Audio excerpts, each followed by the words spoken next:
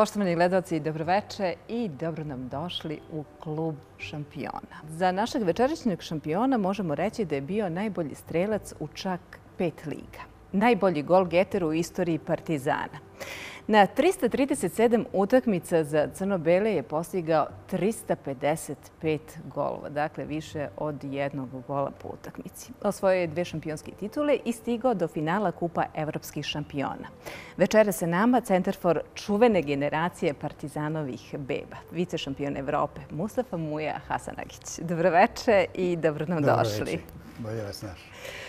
Još jednom, ja nemam reči ovaj, koje mogu da opišem ovo zadovoljstvo što ćemo se večeras družiti, što ćemo pričati o Partizanu na koje se, odnosno o toj generaciji, o vašoj generaciji, na koje se pozivaju svi dan danas. Čuvene Partizanove bebe, vi ste direktan učesnik upravo te generacije i moram da vas pitam, evo ovako, koliko vam je drago u srcu što ste e, bili deo jednog jedne istorije stvaranja upravo futbolskog kluba Partizan, jer e, kažu da se upravo tih godina, kada ste vi igrali, kada ste vi bili najbolji, upravo se tada istvorila ono čuveno parni valjak. Dakle, Partizan, parni valjak koji secka melje, je li tako? Je tako to bilo? Da, prošle godine je bila proslava, u stvari 50 godina od te čuvene utakmice u Briselu, finale Kupa šampiona protiv Reala. Dakle, prošle godine na toj proslavi sam bio i, i radostan i tužan. Bio sam radostan jer sam bio jedan od aktera tog velikog događaja i velike utakmice, nažalost, koju smo izgubili. A tužan sam bio zato što smo tu utakmicu izgubili, a bili smo bolji. To je jedan primjer kad ne mora bolji da pobedi i ne pobedi. I nažalost, tako se to desilo u Briselu. Ostao je žal za, za, za time, jer mi, činjenica je da smo mi stvarno bili bolji od Reala. Jer sticajem okolnosti, pa, Real je imao smenu generacije i tako da ne. Te godine je po meni Manchester bio naj, najbolja ekipa. Mm -hmm. Ali eto, vidite kako Ali se odigralo. Ali kad ste već uspjeli Manchester da savladate, onda je da, bio da nekako... Bi Manchester da. je sljedeće godine već osvojio, jer je bio stvarno kvalitetna ekipa. Ali mi smo prošli tako kako smo prošli i tužan sam, kažem, bio i radostan. E, ali eh, ja predlažem da o toj utakmici uopšte, o celom ciklusu pričamo malo kasnije. S obzirom da su se dešavale i neke stvari koje nisu baš bile sportske, dakle, malo ste, koliko sam imala prilike da čujem, krivili i tadašnje rukovodstvo koje je ovako poprilično labavo držalo u tom trenutku futbalere, je li tako? Ali rekla sam, o tome ćemo posle onako do tančina da pričamo. A sada predlažem da krenemo od Priboja, od vašeg mesta rođenja, od toga kako kako ste uopšte imali priliku da se upoznate sa jednim sportom kao što je futbal? Ja sam e, u Partizan došao direktno iz e, Pribojskog FAPA, gde sam i, e, gde sam i rođen. E, došao sam po preporuci, e, jer sam bio golgeter Kragovičke zone, te zone gde je FAP igrao. I onda sam imao nekolike ponude I od Sarajeva, Ja sam odabrao Partizan, jeste. Mada sam morao čekati e, dve, tri godine, jer je Partizan tih, tih godina bio prvi tri puta za stopce, 59. 60. 61. Tako da ovaj, ja sam došao malo ne kao anonimni igrač. I, ovaj, I kroz igru, kroz treniranje u Partizanu, kroz moje rezultate u igri mladih, u igri za mladi tim Partizana, mene je publika i moji rezultati i moji kvaliteti su me doveli da uđem u prvi tim Partizana. Da li se sećate te utakmice kada ste zaigrali uopšte? Kako je to izgledalo u to vreme, ta hijerarhija? E, da li ste mogli e, tako da stanete rame uz rame sa tadašnjim vedetama ili ste ipak, e, ili se znalo ko je tu u prvom timu, ko je tek došao? Kako su vas prihvatili ovi stari igrači? Hajde, se sećate? Ja, jeste, ovaj, ja sam imao ponudu iz Sarajeva, bio sam čak i na probi tamo, ali ovaj, nije prepotentno ako kažem da sam bio siguran da ću da, da igram, da ću Aha. da uspijem. Aha. I imao sam strpljenja i sačekao sam moj moment, jel te? Tako da mi je drago što sam ovaj, i ostao u Partizanu. Ja sam u Partizanu potpisao tri ugovora. Ja sam igrao nepuni deset godina za Partizan. I veliko mi je zadovoljstvo i što sam bio član tako velike ekipe. E, a da vas pitam, a da li je tačno da ste uh, hteli da dođete u Partizan, da budete malo tu i da se vratite u Priboj i da se hvalite svojim... Baš tako. Je li tako? Je li to istina? Dakle, ja sam došao, bilo je leto 61. godine, ja sam došao i oni su me odmah, znali su da su me druge ekipe tražile, oni su me odmah sklonili u opatiju. Bio sam u opatiji dok su igrali ovi mladi timovi, ja nisam u pravo normalno da igram. I onda su mi rekli u povratku, igrat ćemo jednu prijateljsku utakmicu u Sisku, pa ovaj, nemoj se kupat sunčat ovih dana. Oni su igrali i ja sam se kupao i sunčao. I ovaj, onda smo u Sisku igrali, došli su iz Beograda još Milutinović, Bora, mislim, Milorad, ne znam još par igrača. Ja sam na prvoj utakmici odmah dao dva gola. I čim, sam se, čim smo se vratili, išli smo vozom, čim smo se vratili u Beograd, oni su me odmah odveli u Knez Mihajlovu. Kažem, bilo je leto. Za jedan zimski kaput i to ja sam potpisao ugovor. Jao! Malte ne. Baš zbog toga što kažete da ovaj, meni je bilo... Ja sam već bio ispunjen jer sam došao u Partizan, potpisao i onda mogu da idem u, u Priboj i da budem tamo... Prvi mangup. U, u čaršiji, jeste. Da, tako je. Vi ste inače imali poprilično teško detinstvo, jer rođeni ste i za vreme rata, je li tako? Jeste, ja sam rano ostao bez oca, ne pamtim ga. Četvrto sam dete. Da. I tako. Jesu vas čuvali, ja sam, bili? Ja sam uh, dosta vezan za priboj i često sam i sad idem i tako.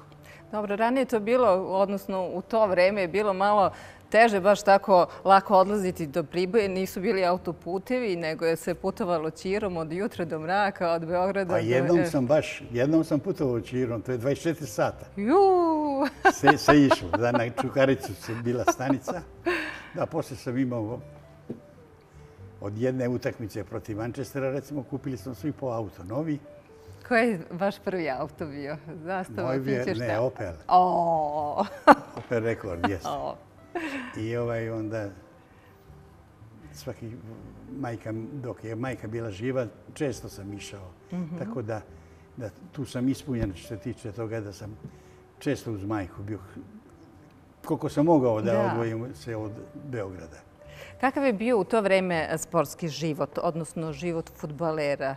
Pretpostavljam ne kao danas, Kako ste, da li ste se tada međusobno družili? Da li ste se družili sa drugim sportistima? Pa slušajte, onda je bio Tašmajdan i ovaj... Igranke? Znalo se, jeste, ovaj, gde se izlazilo, s kim se izlazilo. Mi smo bili normalno više, više smo imali novaca i toga, ali nisu to bile neke pare velike. Imao si u džepu i imao si auto novi, ili dobivali smo stanove, ono stanarsko mhm. pravo, ja? A neke, neke velike pare nisu bile u Tek posle kad smo krenuli, kad smo krenuli u inostranstvo, onda je se svako snalazio na svoj način, jel? Kako ste vi uh, shvatili vašu ulogu centarfora? Vi ste od samog početka se nekako izborili na toj poziciji, ali tako nije vas ili se možda varam ili su vas treneri postavili? Ne, ne, ja sam i došao kao centarfor i to je, mislim da mi je pravo to i mesto bilo.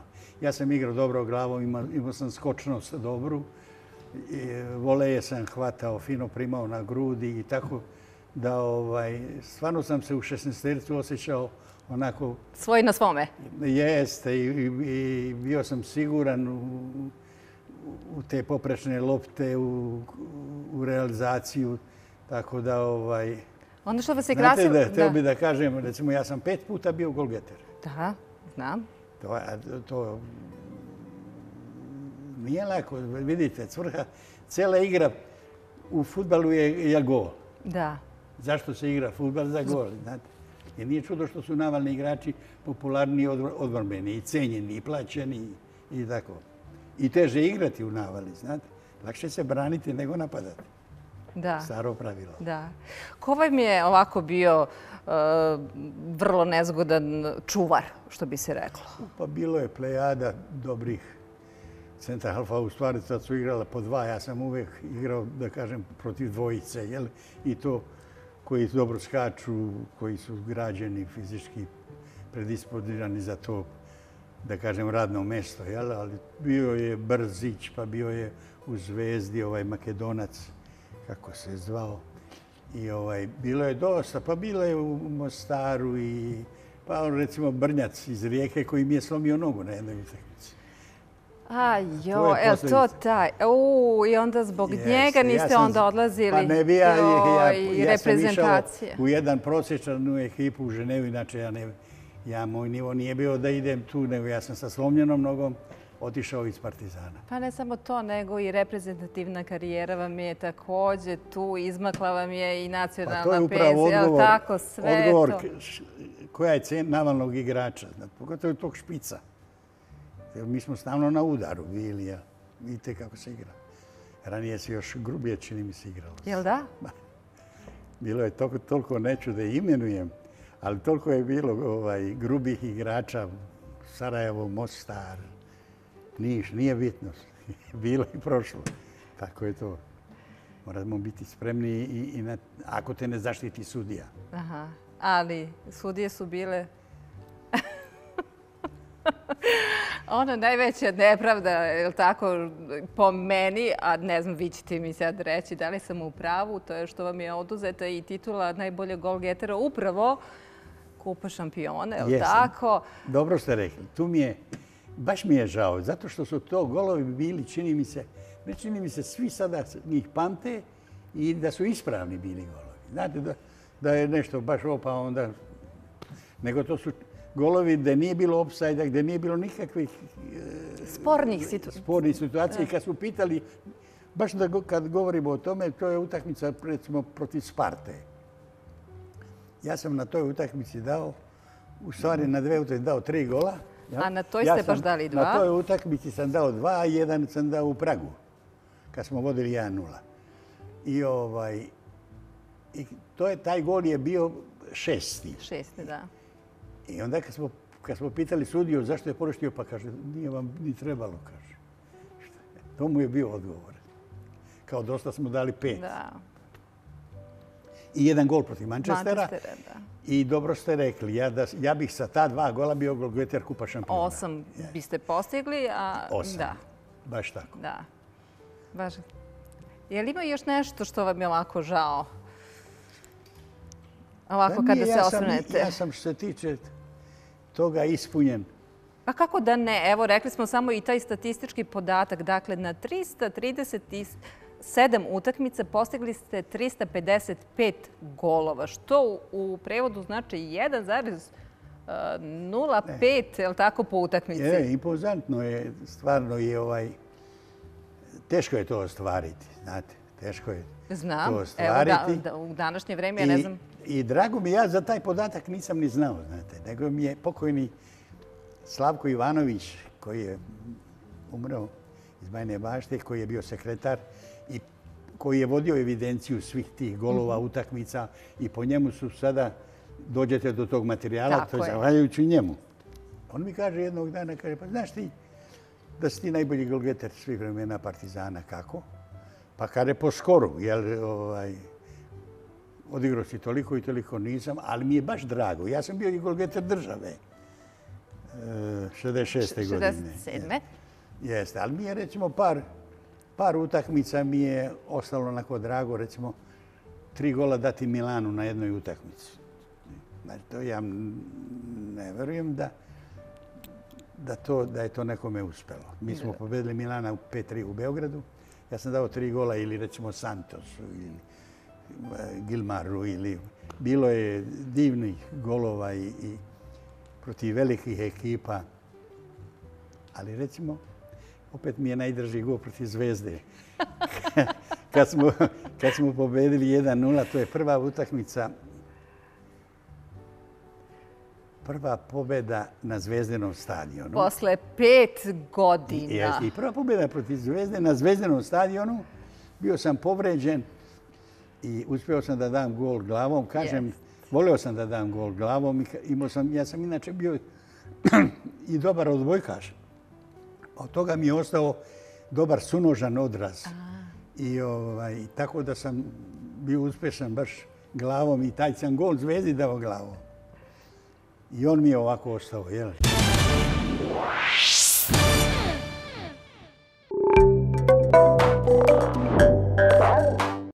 Uz AMS osiguranje obezbedite. Osiguranje od autoodgovornosti. Tradicija sigurnosti. AMS osiguranje.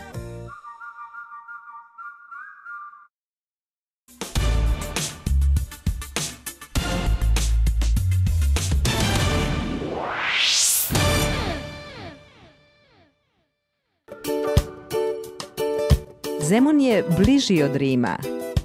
Lana Shop. Evropski standard u odevanju.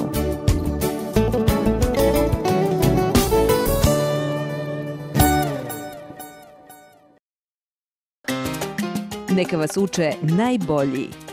Plesni studio Natalija i Ivica već 30 godina u ritmu.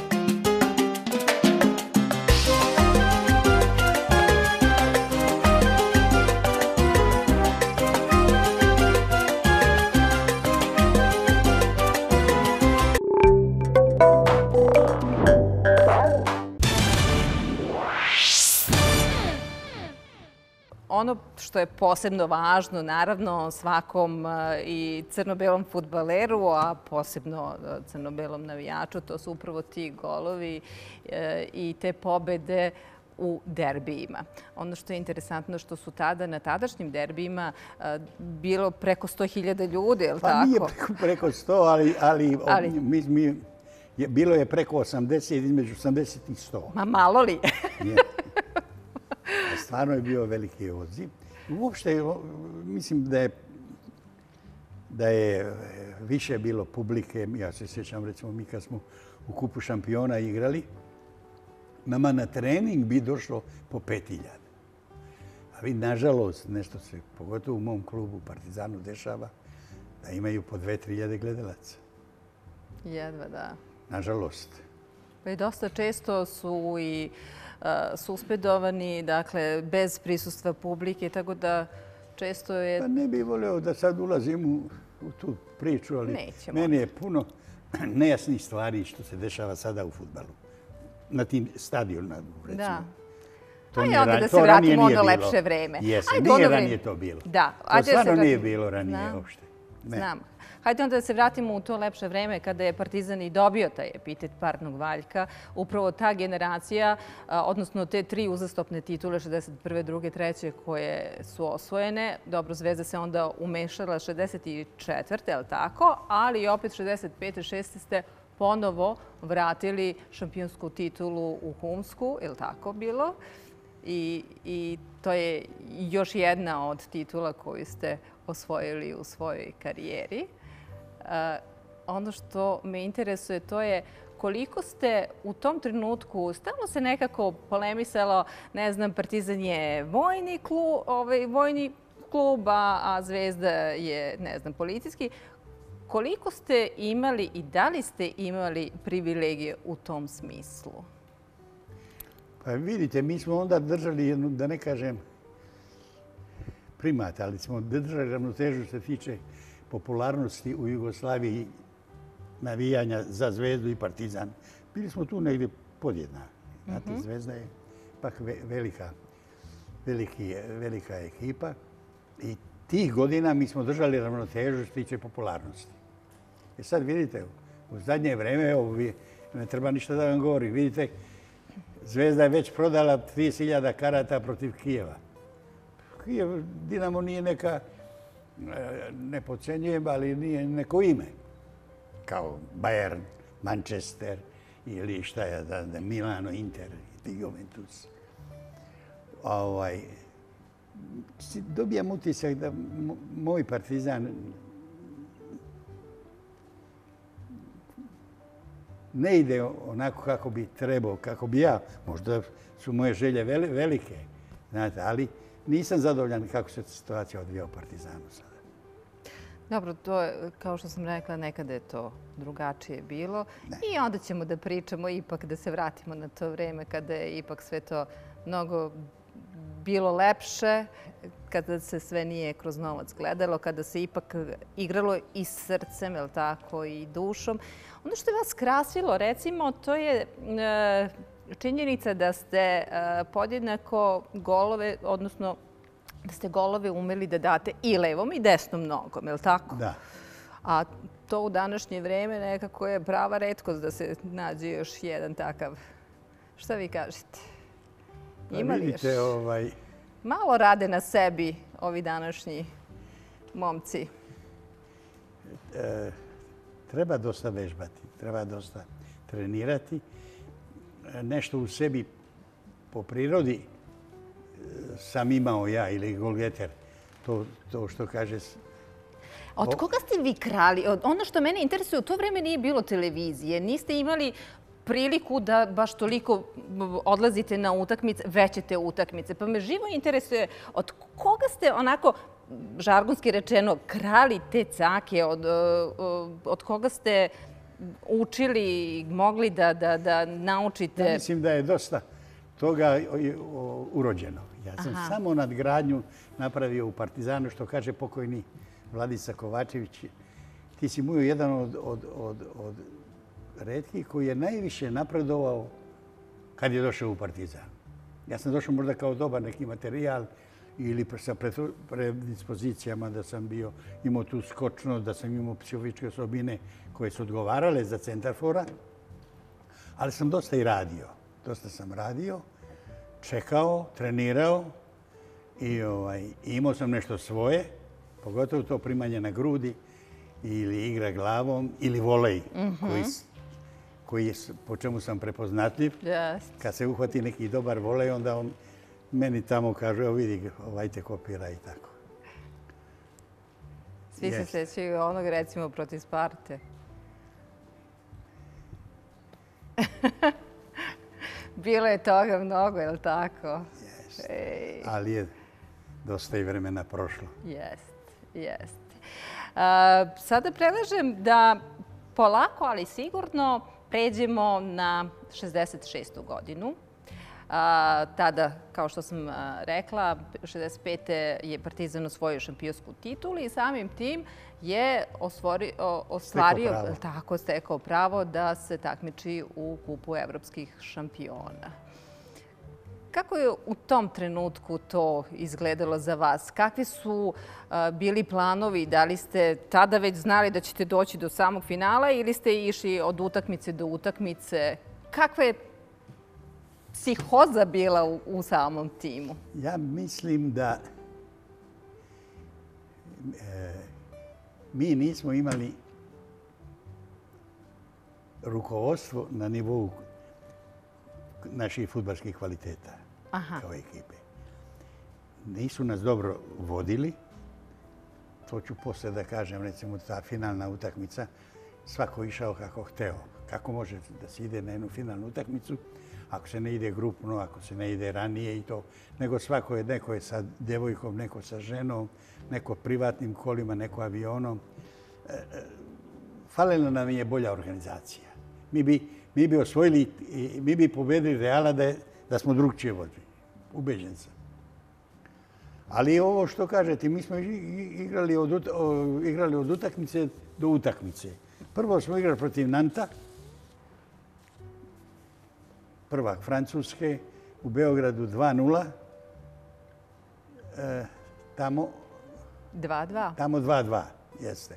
I onda ovaj, za nesreću, ali eto i možda i za sreću, nismo imali sve teške protivnike. Pogledajte, prvak Francuske, Nant, pa posle toga Werder. prvak Češke, Aha. Pa onda prvak Nemačke, pa prvak Engleske, pa prvak Španije.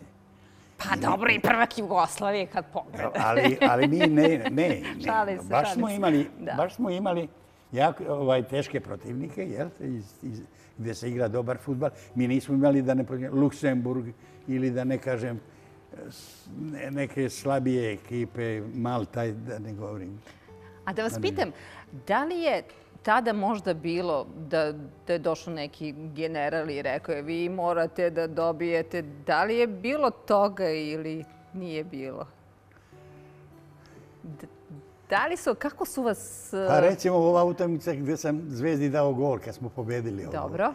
Ja sam bio, kažem, teško povređen i oni su sumnjali da ja, da ja nisam povređen, nego da sam želeo nešto, nešto da ostvarim kroz da ne igram i da ucenjujem i tako. Međutim, ja sam stvarno bio povređen i oni šta, bi, šta su uradili, oni su otišli kod, kod mog kuma, pokojnog e, Miloša Zekića, generala, koji je bio komandant komande grada.